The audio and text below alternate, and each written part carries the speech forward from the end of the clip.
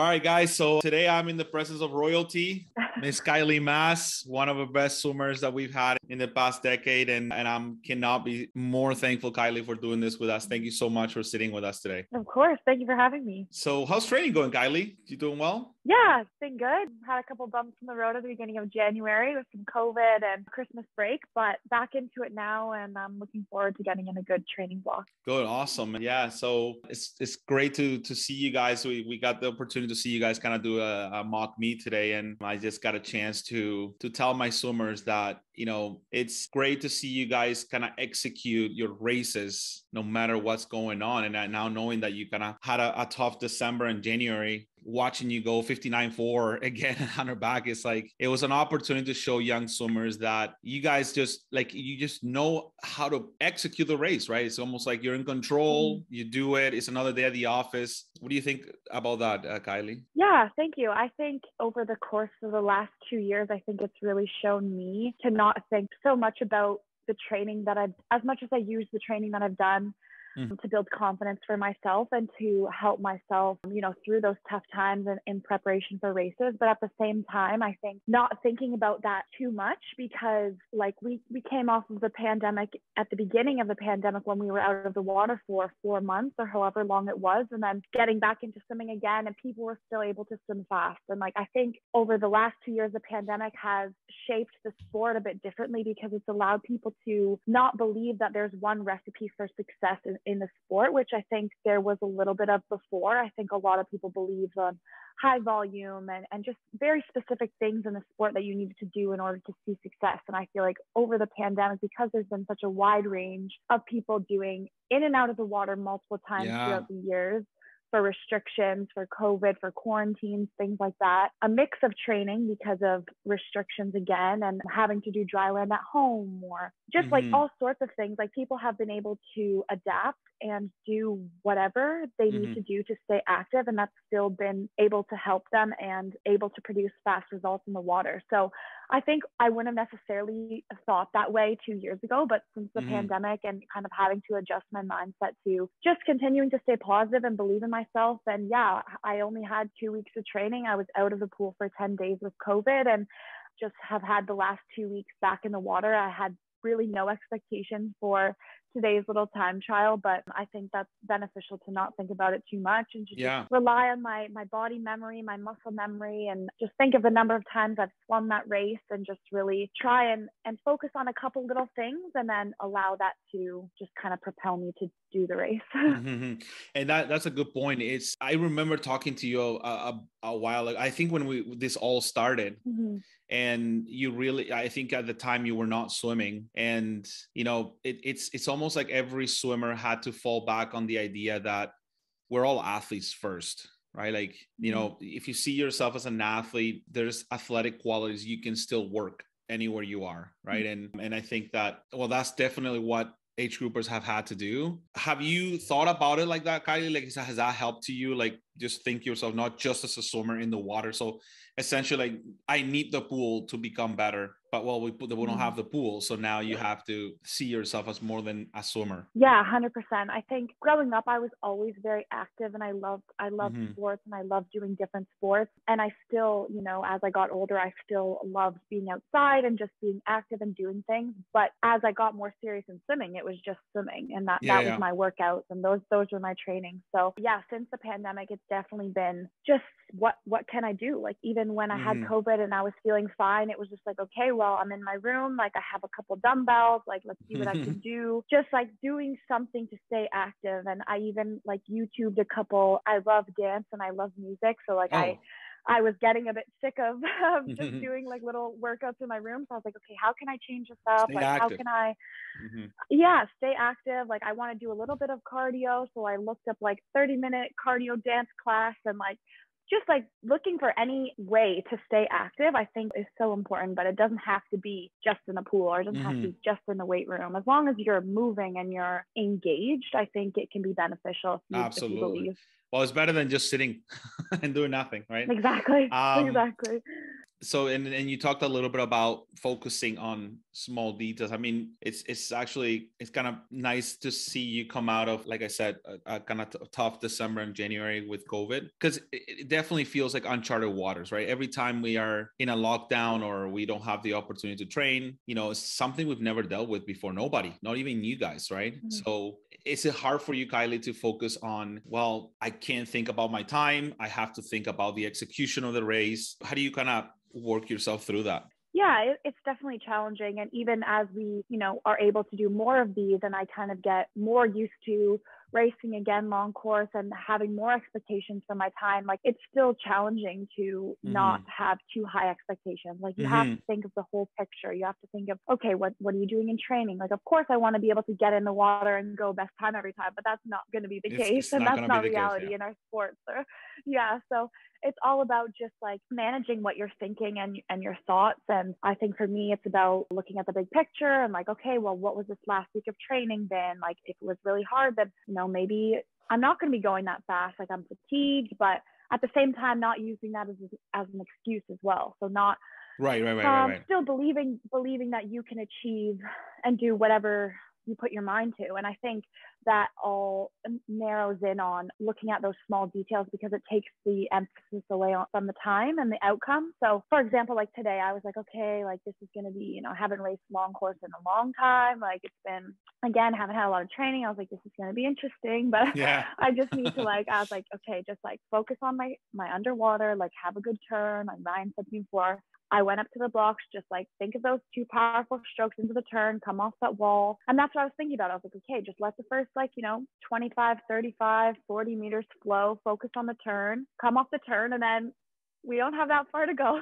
Yeah, Only like 30 more meters. And then I was really just like, I knew it was going to be challenging towards the end. And I was, you know, telling myself positive thoughts and just kind of say, saying to myself, like, stay strong, stay strong. Mm-hmm. And yeah so for me yeah it's all about focusing on when it's not about the time and i don't want to be focusing on the time i think it's important to kind of put your focus on something else whether that be skills or kind of a strategy or something like that. Yeah and do you like i mean the ultimate great feeling is when you go a fast time. I mean obviously that's like we all seek and you know we're mm-hmm. we're ambitious right? That's why we're, we're competitors right? And we're ambitious mm-hmm. and we want to see that time go down. But but then there's these things right? Like these things that you know even a, skill that you, maybe you struggle for a long time to get it right and then you get it right mm-hmm. i try to preach that you know try to find some joy in accomplishing something like that too mm-hmm. right like it's not the sa- it's not at the same level but definitely take your time to give yourself some credit and acknowledge that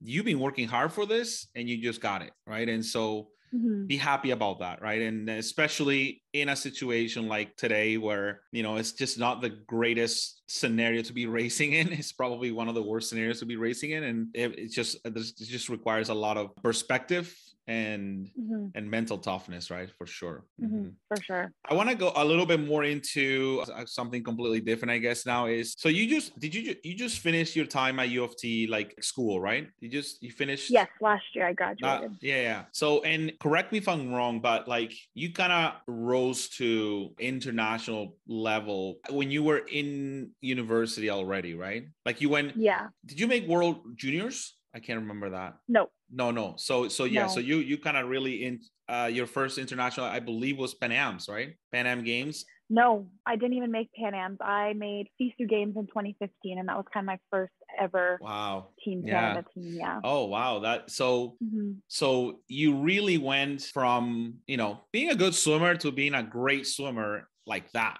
in in mm-hmm. university and and now you had to face balancing school and and some of the most arduous training I'm sure you've done. How, how did you manage that, Kylie? Did, what are your secrets on that?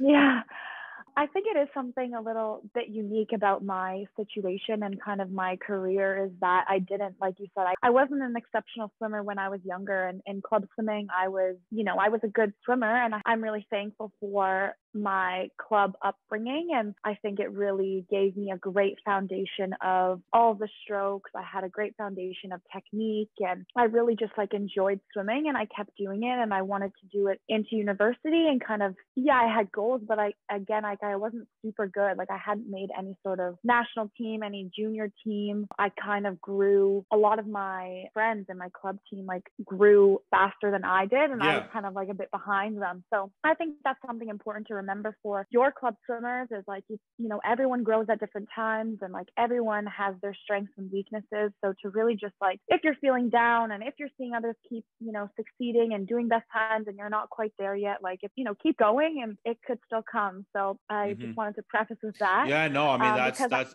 that, that's a beautiful message, a hundred percent. And uh, yeah. sorry, I, I wanna I wanna chime in for one second. Yeah. I, I do think that I mean swimming is not the biggest sport in Canada. Like it's it's I think it's growing and I think it's more, more popular. Mm-hmm. I mean I think the success of the women's team is helping that with that a lot, right? But it, but the reality is we're not hockey, we're not no. we're not even basketball, we're not even soccer, and so it's only natural that age groupers can feel like their career is over after high school, mm-hmm. right? And I for sure try to really fight that off. And my goal is kind of to keep like a 17 year old cannot feel old.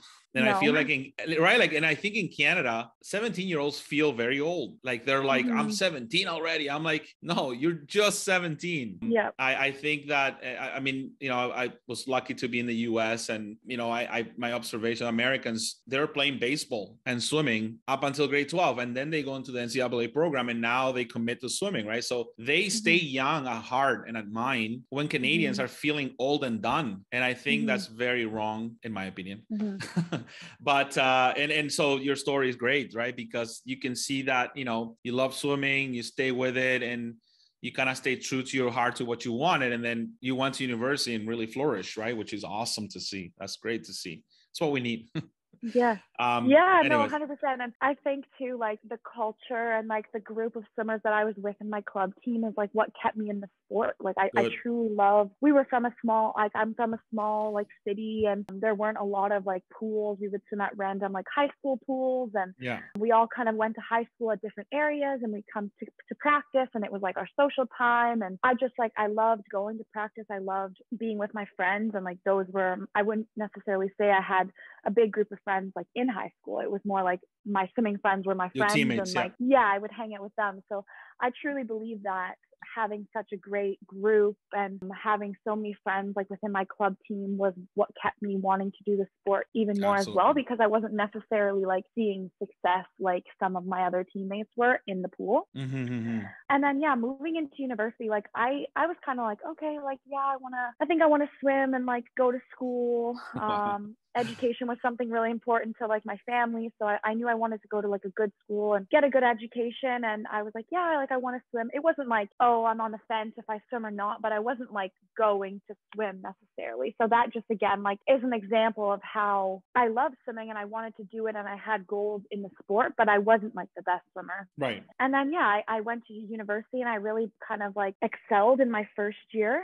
Um, that would have been the year of 2015. So Pan Am Games were that summer and talking with Byron Linda, they were like, it would be so cool for you to make the team. Like the Pan Ams are here in Toronto. And I was like, oh yeah. But then unfortunately like missed the team, but I was able to qualify for the World University Games that yeah, summer. So yeah. yeah, I think it, it was a challenge to balance, like moving away from home, first of all, like I had never lived away from home before. So that was in and of itself a challenge. And then getting used to a new school program, getting used to a new swimming program. Like the swimming program was nothing that I had ever done before and mm-hmm. involving weights as like weight training. And there's just so many new variables that sure.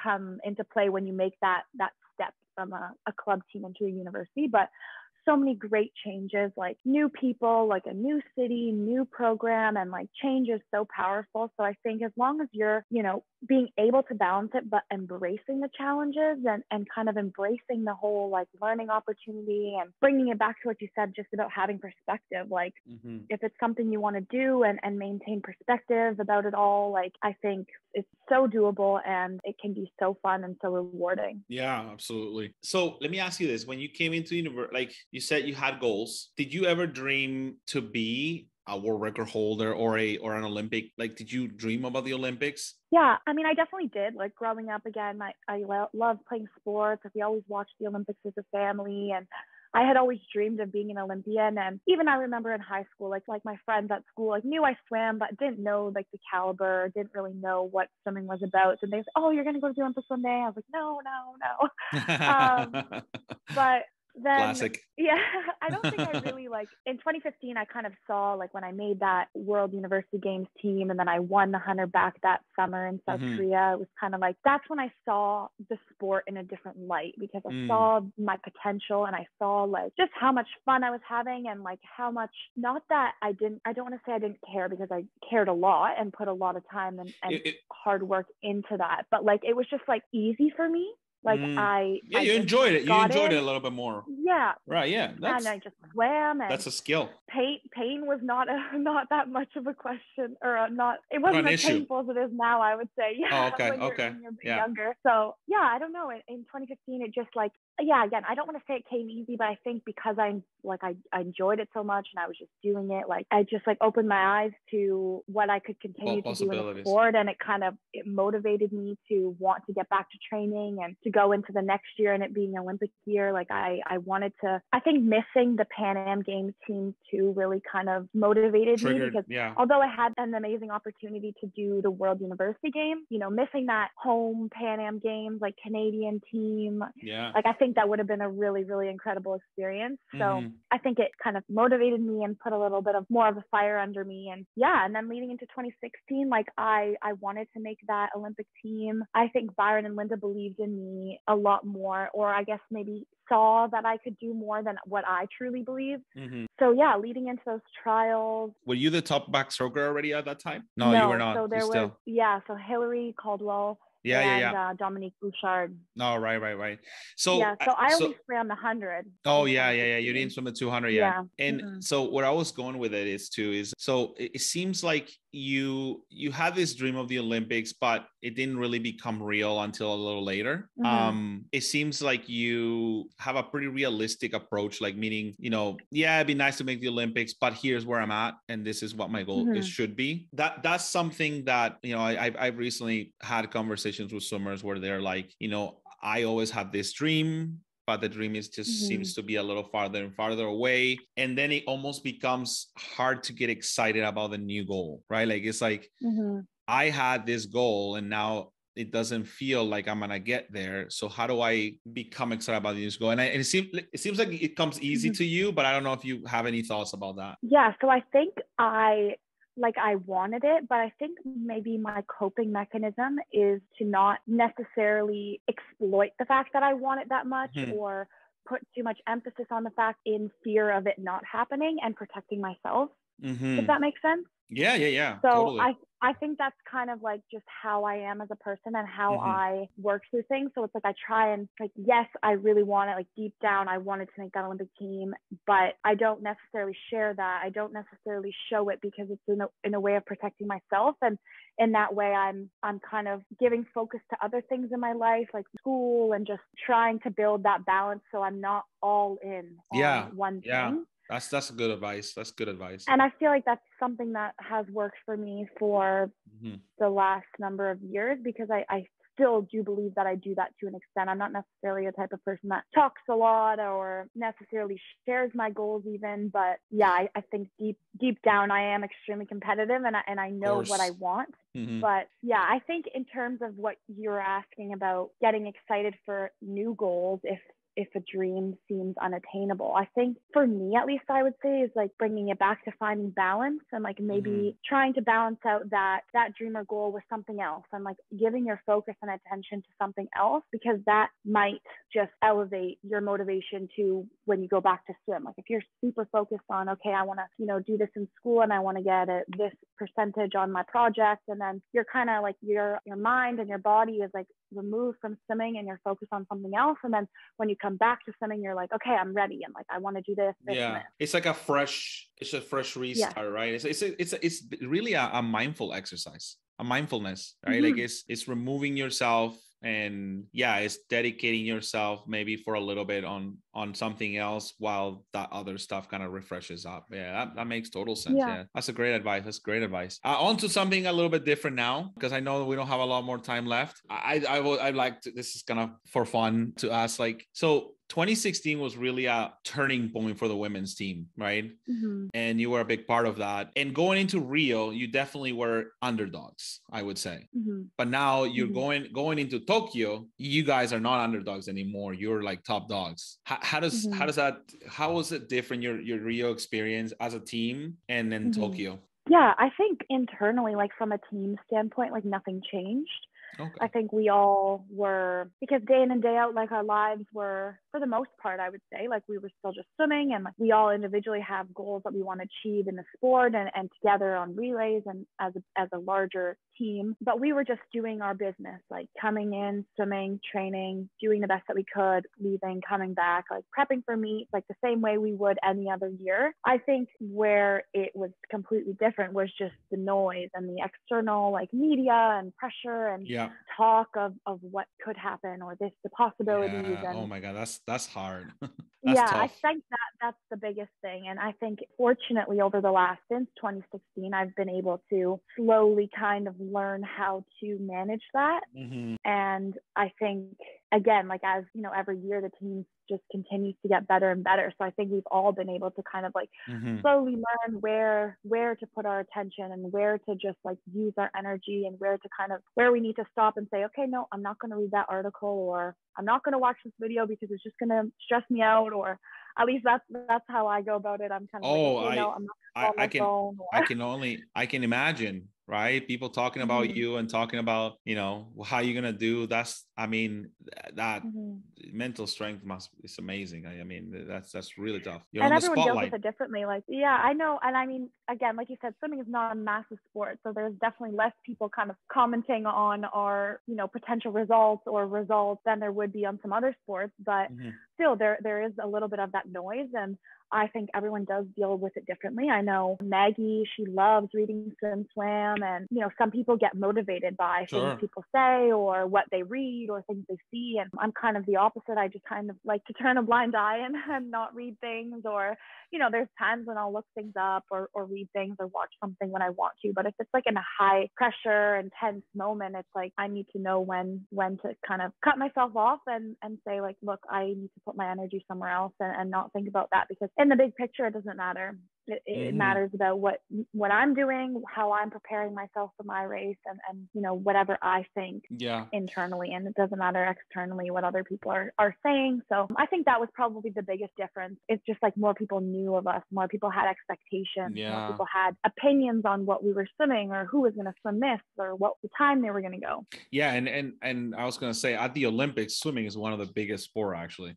Like it's th- in between the four years, like and I, th- you know, maybe hopefully the ISL changes that a little bit, right? Because the ISL is like it's like a professional league, literally, right? Mm-hmm. So it's and it's the first of its kind. So when other sports have like the NBA and NFL and or well, NFL football's on a, but the, the soccer league, and so you know we don't have that. Well, we have it now and hopefully grows to what it could be. Mm-hmm. But yeah, the Olympics is I think it's like the second most watched sport after track and field, something okay. like that. Yeah, I know it's it's yeah. huge actually. So, but yeah. um, but yeah, no, it's it's it's always great to hear you guys talk about this stuff because it humanizes you guys more right? Like you you mm-hmm. you you when we watch you guys you just look like you know most athletes watch you guys and it's like you're from another planet right? It's like well how is this girl doing what you're doing right? And but it's it's i think that it's good to know the ups and downs that you guys face the like mm-hmm. like the blood and tears that you put into this because at the end of the day that's what it's all about right it's about mm-hmm. the, I, I feel like those are the biggest lessons right is the sacrifice mm-hmm. that you put in and the whole process of planning and executing it and then seeing the goals come through and you know well i, I guess I, I, should speak more for for myself i i that's what i love to to to hear and see the most and and mm-hmm. obviously always it's always fun to watch you guys race so yeah that's that's that's a great story kylie thank you for sharing sharing. One last little question, and it's just for fun again. What what's your favorite Olympic moment? Oh wow! Yeah, I know this is this is a. I asked every yeah. swimmer, and it's the hardest question because it's so yeah. many. I mean, I think I had two very different experiences with the Olympics in 2016 versus in, in Tokyo for obvious reasons. Yeah. Um, and the moments I loved in, in Rio were those after the competition, obviously like podium and, and being on the podium. Those are the obvious, yeah. Memorable. And, and yeah, but apart from that, being able to spend the second week in the village and, and seeing other athletes compete, getting to go to other venues, just mingling with the other Canadian athletes, like those are some of my favorite memories from Rio. And going into Tokyo, we obviously knew that wasn't going to be Case. allowed and um, it was going to be different. So I think from Tokyo, Tokyo, some of my favorite memories, again, apart from the podiums, are just like spending time with the girls in our like apartment. Again, we weren't really allowed to do much else, so it was a lot of like downtime. And like one of my favorite memories, which is I've, I've told like a couple of times, is so one night we were getting ready to go to bed, and there's a, obviously a lot of stimulation when you're at the Olympics, again, from just being at the Olympics and it being yeah. the biggest stage, stage for our yeah. sport, but also, again, like from your phone, from socials, from friends back home and family. And there's a lot that you can take in. And if you don't kind of manage that it can be it can be challenging so mm-hmm. one night taylor had brought like i think her, her like candle or something and so mm-hmm. she lit her candle and we dimmed the lights and we were like she put on this like peaceful piano music and oh, cool. uh, we we made tea and we were just like sipping our tea and we had these beanbag chairs in like the middle of our apartment and we were just like hanging out there trying to like wind down and just relax so that we could fall asleep and those are just some of my favorite memories because they're just so wholesome and it's just like it kind of yeah and, and just special that you're able to like share these moments with people and like spend such quality time with people when you're also at like the most intense periods and moments in your career and, and in your life. So yeah, those are no. just kind of like hanging out with the girls and with the team and getting to know people on a different level. And I I'm gonna say right now that I swear that I didn't tell you to say that because yeah. every every every swimmer that I've asked this have a similar answer and mm-hmm. I, I just want to reflect on it that it's you know it's, it's it is about the journey right mm-hmm. i think the most beautiful thing we take away from our sport is that first is it is a tough atmosphere but mm-hmm. once you learn to embrace it and you learn to deal with it you kind of learn to open up your eyes and start appreciating some mm-hmm. of those you know like the, the the cliche of you know smelling the roses right like you yeah. you start you know and and every swimmer who've asked this have shared a, a, a, like a very personal kind of you know just being with the, the team or being you know mm-hmm. or i think yuri talked about how he was very shy and then he opened up i think he said a joke and everyone laughed and he was like oh well maybe i'm funny you know it's like that's uh, that's a great story right and so because sometimes right like again when we're trying to find our place in all of this mess you know mm-hmm. you you you get too caught up with your results and too caught up with the medals mm-hmm. and too caught up with winning and even though i'm a again i'm a big competitor too and i want to win but the, you you have to find the joy you it, it's not mm-hmm. to me it's not winning at all cost it's mm-hmm. winning but also making sure you're enjoying it you're mm-hmm. loving what you're doing and and the win just is that much more that much better right mm-hmm. so yeah that, that's amazing you, that you said that because every swimmer said it the same thing so it's great to see that it's great to see that you guys are enjoying yourselves and so hopefully we get to see more and more of you guys yeah well kylie thank you so much. This was so much fun and all the best of luck with the rest of the season and with you know all, all the way to paris. I will be watching you and uh, thank you for sitting with NYAC thank you. Thank you for having me. No problem. Bye bye bye